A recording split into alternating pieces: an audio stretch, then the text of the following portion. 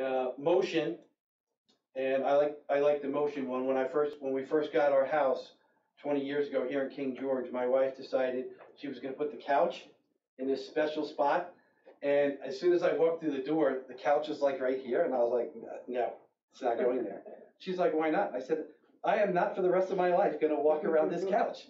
So we, that couch now sits against the wall in the back, and I have a clear path to walk through where I wanna walk through. But imagine how many times you walk in somewhere over and over, and even something as simple as walking around something like that, you multiply that by twenty years, five trips a day, and it's just, it's a waste. It's probably an overkill on my part, but I do that with almost everything in my life, whether it's laundry, dishes.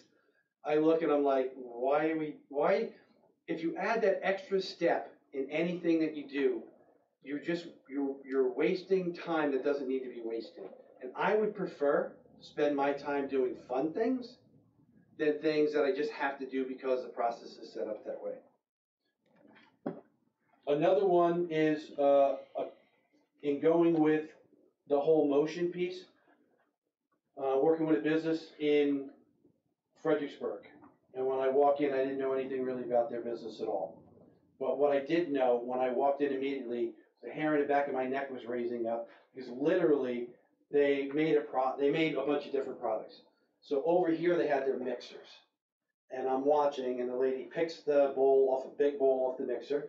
She works all the way back to, about the distance, maybe a little bit longer, the back, back wall there where Mark is. She puts it on the table there.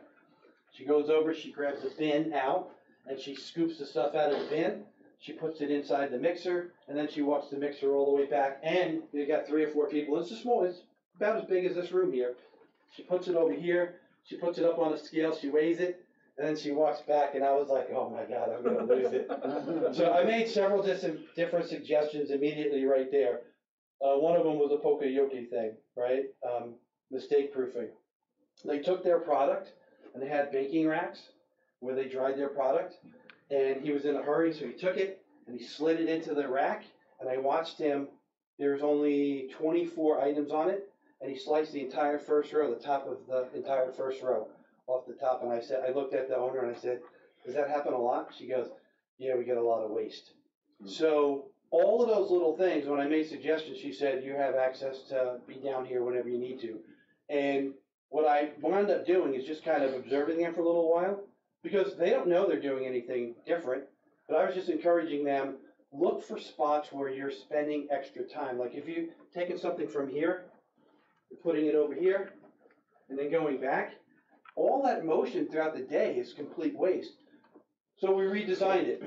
She wanted a full drawn out sketch of what I was talking about, and I said I'm not a full drawn out sketch kind of guy. But follow me with a notepad, take that table, put that table right here, and here's why. There's no leg in the bottom, so you can slide those big bins up underneath it. This area becomes your mixing area. This area becomes your pressing area. Put it against the window. And if you put it against the window, people who are walking on the street will get to watch how you produce them right there. You can interact with them, and they're more likely then to come walk inside your thing. I wanted, I did, I put a sign out on the window, and the sign said free watching. Because from a human nature aspect, when you're sitting in there and you're actually making their product, and every time they would look up, the customer outside would go, feel they were intruding, and they would like, and they would leave.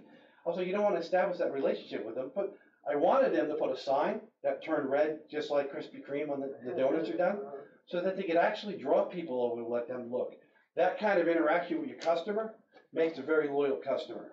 So I was able to save them tons of time. They, uh, when two people left, they didn't backfill them. Um, and they went through their busy season around Christmas time this year. They had so much extra time uh, that they didn't have before to be able to do research and development on new products. Before they were just trying to keep the shelf stocked, and they couldn't keep the shelf stocked in how much extra time and motion they were running around.